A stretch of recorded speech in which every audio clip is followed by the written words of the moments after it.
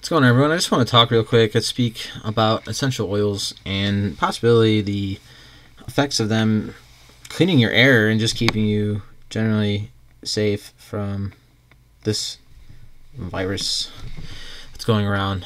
I tried to do some research, uh, not research, just trying to look up some what other people are saying. Uh, no antiviral essential oils probably won't stop you. Probably. You don't really know, do you, Natalie Morris? Um, she claims that you don't that no one really knows if essential oils will help you or not. And I think they will because if we think of the electric universe, viruses are electrically charged just like everything else in our bodies and their vo- and our body cells have voltages. So what are these what are the voltages of these viruses that are attacking cells that are weakened, right? And if essential oils can raise your vibrational frequency or raise your your voltage, body voltage, or your body your cellular voltages, and keep them safe from these viruses, then I would say then absolutely yes. Uh, use essential oils on a daily basis. Put them in a diffuser. I mean, they can't help. They can't hurt, can they? Unless you use them improperly, which you know I have. I mean, oregano burned my face. I use it on my and I actually got a nice little scar that's healing. But uh, yeah, that you know, there's some dangers like calamus root. I ingested that once. I was puking like for a whole day. I thought I was gonna die. So yeah, there are dangers with essential oils. I've experienced them, and uh, you know, just be careful with what you do. Research everything before you do something. You know, have an informed methodology towards your health. And I am going to just do a disclaimer. I'm not a doctor, but I am, I guess, a herbologist or I study herbs or I study the effects of plants on the body. And uh, I don't think modern medicine properly cures people, it just treats symptoms. And I feel if we got back into uh, natural curing methods with plants that are older than man, um, then what's there to lose other than the current model of healthcare? You know, maybe people should start growing their own herb gardens, or perhaps there's something wrong with their area that's causing the air to have a low voltage and it causes corona to come in. Like China, for instance, they're always polluting. Um, they treat their animals like shit. Uh, they're, disgusting. A lot of people in China are fucking disgusting. I'm not, and I'm not saying that doesn't happen here. There's a lot of disgusting shit here too, and I'm sure there's really awesome Chinese people who care about their animals and they love them. And uh, but for the most part, the industrialization, you know, I mean, it creates a lot of pollution. I mean, every nation that's gone through an industrial age has had these issues, and you know, we had ours back in the 1800s or whatever it was, and you know we've gone through that pollution and now you know we're reeling from it like bethlehem steel you know a perfect example. I live in the rust belt region but anyways i digress. I'm talking about antivirals and the essential oils so let's keep on task here. So, electrically charged essential oils. It's a true thing. Every cell is designed to run at a specific voltage and frequency. So, in general, diseases occur when cells do not have enough voltage and are running at a low frequency. This is where the little known effect of essential oils comes into play. Essential oils are the highest frequencies of any substance tested so far. A high quality rose oil tops the frequency charts at 320 megahertz with harmonics at 160 and 80. Lavender oil tests at 118 megahertz with a harmonic of 59. Uh, blah, blah, blah, blah. Humans test at 62 to 68 megahertz, with individual organ systems testing at different frequencies.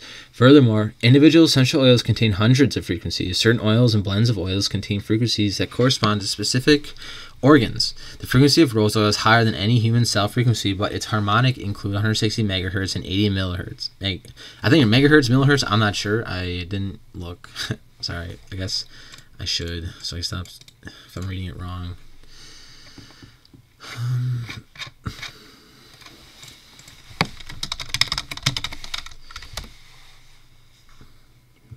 Megahertz. Okay. So I was right. Anyways, megahertz and 80 megahertz, the human brain operating at 70 to 78 megahertz, rose oil can transfer energy to the brain because of similar hertz range. So it can raise your frequencies. Essential oils and plants raise your frequencies. It's just like when you take like a drug. Like you take some psilocybin or you take some LSD or you take something that's increasing your frequency in your body to a re- to like a, a tone above normal. That's why probably you go through dimensions and stuff and you go through other altered states because your frequencies are higher.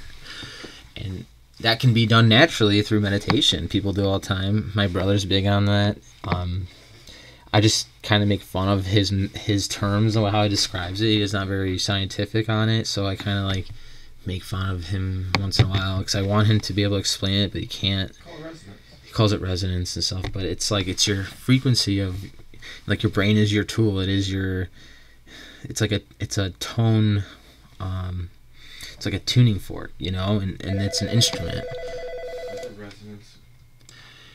So so back to this. The follower. Let's read some more here. The follower things in life also have specific frequencies. Viruses, bacteria, germs, and mold have frequencies, although much lower than plants and essential oils. A synthetic essential oil, or simply an inferior quality oil that may not be noticeably different, certainly will have not the same frequencies. So that's what I mean. You have to have high quality, happy plants.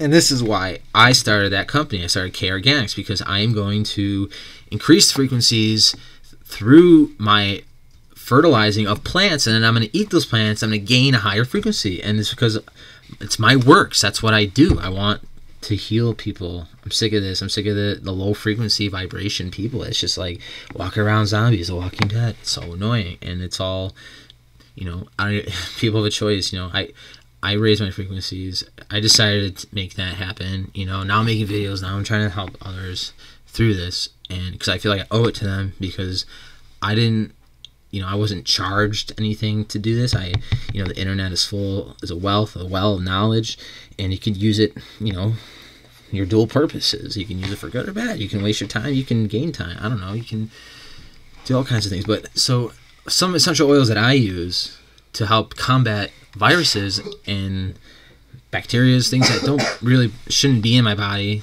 that harm it uh, I'm just going to go over some that I use. I use thyme, oregano, lavender, St. John's wort.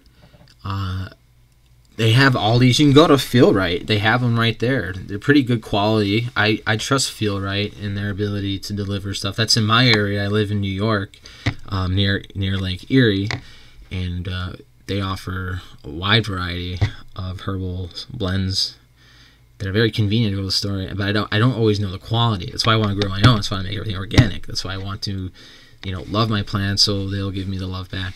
And uh, one more here I use it's called Croton lechleri, and that's called Dragon's Blood, and it's solid. SP303. They actually I think they've extracted this and made it uh, something uh, drug. I forget it's like coffer or something. And I also take Artemisia annua. This is another strong, super strong antibacterial. This is like the strongest in the world. These people make the best. I, I took this back in January when I got really sick, and oh my god, I thought I really did think I I thought I had corona back then. Like I made a video. It was like that 36 minute video of me reading that book, and I also made that NASA video when I was really sick too. I couldn't even like finish it. I was so sick. I had laryngitis for four weeks. But yeah, so that's all. That's what I take. I take these herbs. I take I take many more. I have like a huge cabinet of essential oils, and I wish I had rose. My I have a friend who's growing roses, and hopefully this summer I'll be able to get some of those petals and make either some rose oil or, or rose water or something. Just because the the rose is so amazing. It's such a perfect perfect plant flower, whatever, to enhance your frequencies. You saw for yourself. I just read that article. It's got the highest frequency of most plants, the rose. And the rose is a very symbolic thing. It's, you know, you give someone a rose you want to marry. It's, uh, it's a symbol of life, you know. It's like a ruby. Ruby's like the strongest vibrating gemstone, too. So it's just the color red. It's the color of life, color of our blood, you know. So there's some information hopefully people can utilize it and like i said i'm not a doctor i, I read medical journals i read medical information i just pass it along to those who wish to uh, hear it. You know, I guess that's the meek. You know, people willing to help themselves. So those are who these videos are usually for. So thanks for watching. Take care.